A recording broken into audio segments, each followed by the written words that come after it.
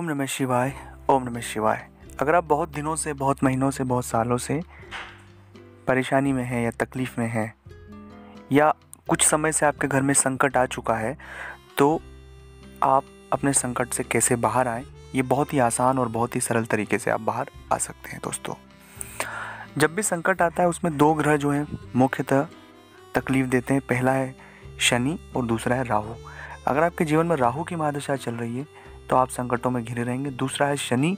शनि की साढ़े साथी चल रही हो, ढैया चल रही हो, या शनि की महादशा चल रही हो, उसमें कई सारी पीड़ाएँ, कई सारी तकलीफ़ें व्यक्ति को झेलना पड़ता है। तीसरा और महत्वपूर्ण बात होता है कि इन सब चीज़ों में व्यक्ति का जो सोचने का तरीका है, वो बहुत नेगेटिव हो जाता है।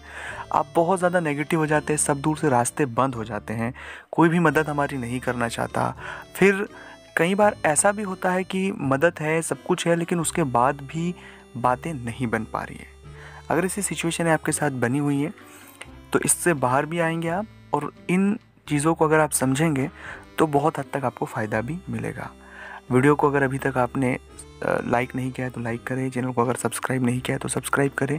और अगर अपनी कुंडली का एनालिसिस एक बार ज़रूर करवाएँ, ताकि ये जो समस्या है, इसमें बहुत सारी चीज़ें ऐसी भी होती हैं जो पर्सनल कुंडली के माध्यम से देखी जाती है।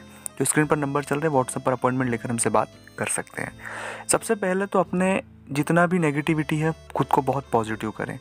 पॉजिटिव ही सोचना है, अपनी आदत जो नेगेटिव हो चुकी है पॉजिटिव ही सोचना है। दूसरी बात है कि बजरंग बाण का सुबह और शाम दोनों टाइम जप करें, क्योंकि शनि जो है वो हनुमान जी की जो सेवा करते हैं या शिव जी की सेवा करते हैं, शनि उनका कभी भी कोई गलत प्रभाव नहीं करता है।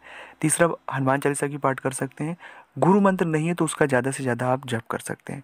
और चौथी बात जो शायद आपको जीवन में अपनानी चाहिए, कुछ भी हो जाए, अपने इष्ट पर पूर्ण यकीन रखें। अपने इष्ट पर जितना यकीन आपका होगा, उतनी जल्दी आपकी समस्याओं का समाधान ज़रूर होगा। तो इन चीज़ों को फॉलो करें। अगर अच्छा लगा हो तो लाइक करना, शेयर करना, कमेंट्स करना। ओम नमः शिवाय।